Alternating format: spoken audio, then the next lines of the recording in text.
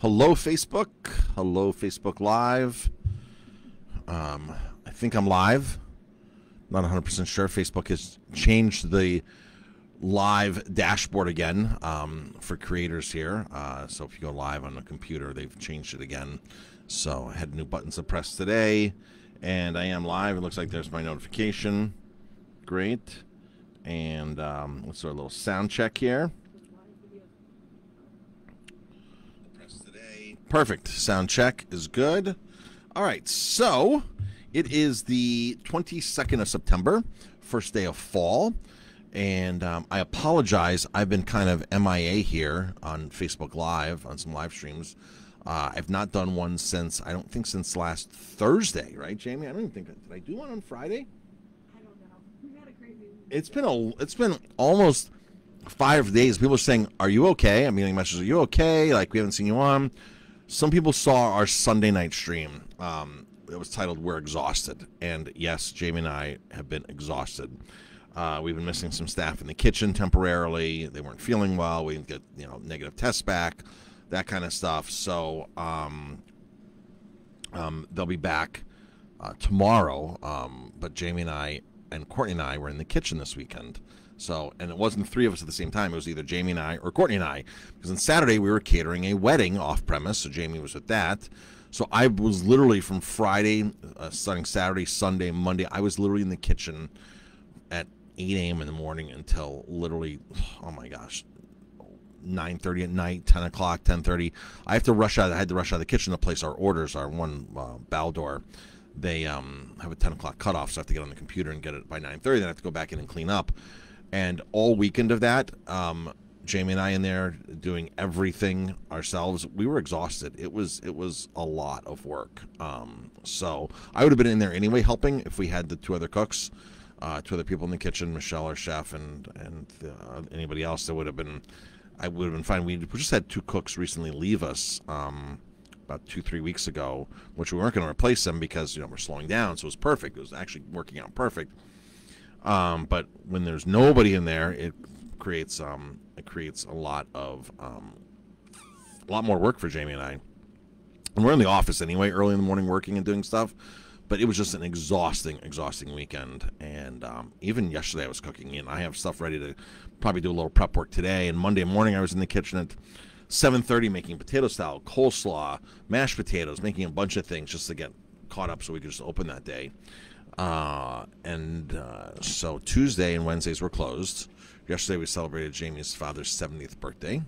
So we went out to a winery, Fjord Winery in Marlboro. Then we went to get some oysters and eat on the waterfront in Newburgh.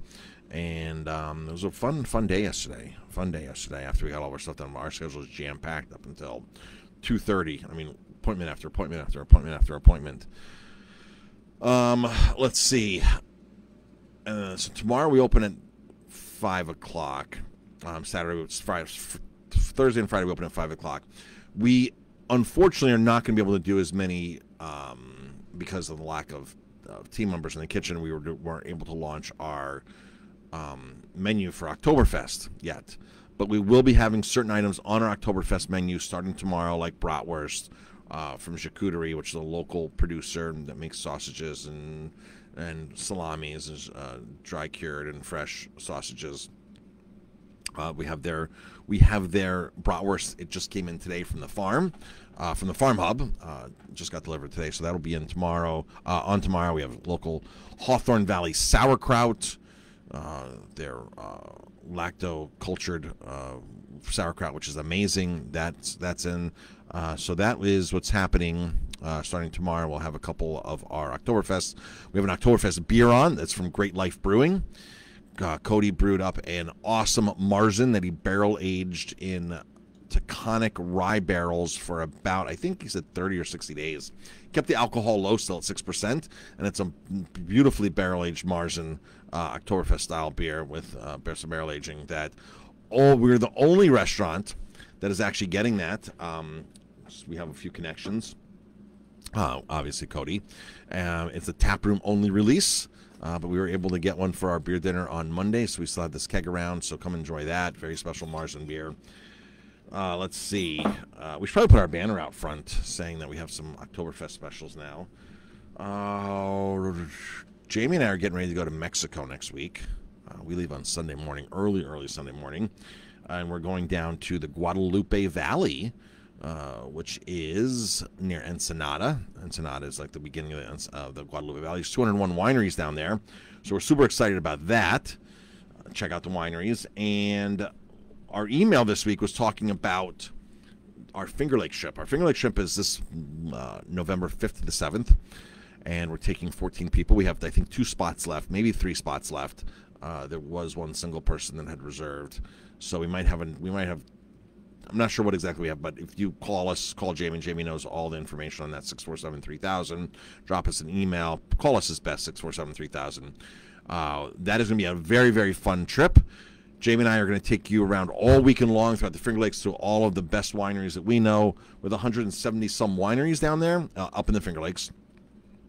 Uh, there's about Jamie and I were kind of figuring out how many wineries we've been to. We thought it, we we kind of figured it was about 50 wineries we've been to in the Finger Lakes, about 50 different wineries uh, over the years, and I would say probably 30 of them I would buy their wine, and I'd probably can narrow it down to the top 10 uh, producers of wine or 12 producers that we feel are the are the best of the best up there, and these are the places that we take you to, are the best or the best of the best. So we narrow it down. There's a lot of wineries that we visited that we will not buy from. Um, even that happens in Italy and it happens in Spain as well. That we just won't buy their wines. We're not so happy with. It might not, it might not even be the quality that we don't like. It might just be that it's too big of a brand, too big of a house. It wasn't what we thought it was.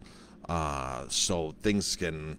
Um, things can be different and and even there was one local winery um, here in the Hudson Valley where I just didn't like like love their wine. I was ready to pour their Chardonnay by the glass, and um, the owner just didn't give us a good feeling. Didn't give us a good feeling at all. And uh, the owner just recently said, said hello to us at an event. Uh, I was surprised she even remembered us because she like totally ignored us the first time that we were talking to her. So it's unfortunate. Uh, we have to like you too. You have to have more than you have to have more than a good product. You have to actually you have to be likable too. So uh, we like doing business with people that we like. We do business with people that we like. We're all like that to a certain extent. we want to support people that um, that are likable. Anything else I'm missing, Jamie? Thanksgiving. Thanksgiving, yes. We'll be open for takeout only on Thanksgiving. We did takeout only last year, takeout only this year on Thanksgiving. Um, so you make sure you get your orders in early. It's $35 a person. That includes everything, right from soup to dessert. It's a great, great, great meal. It's on our website, our Thanksgiving Day menu, and it's on our website already. So check that out and uh, reserve ahead of time. We have very limited, very limited spots for that. I think last year we sold out uh, doing that, and then of course New Year's Eve we'll probably do the same thing as last year. The whole party pack again for New Year's Eve. Um, so that's it, folks. That's it for now. Jamie, you doing a uh, happy hour live today? Yeah. Cocktail time with Jamie, about four-ish or so. We did send that on email today with a recipe for what was today's cocktail, Courtney? Well, um, yeah, so the title is incorrect. Um, so we apologize about that, but it was a. It, what?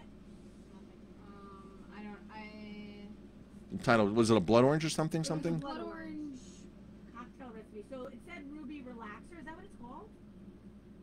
Blood orange old fashioned. Blood orange old fashioned. Blood orange old fashioned is today's drink. So open it up. Recipes in there, the pictures in there. I might make that today. Did I make that yet, Courtney? I didn't, did I? By the way, if you were tuning in live, Drink. Okay, ooh, that sounds good. Blood orange old fashioned. Yeah. If you were tuning in, just drop a comment, hashtag live. If it was on the live, it was on the replay, hashtag replay. If it's on YouTube, it's always on the replay.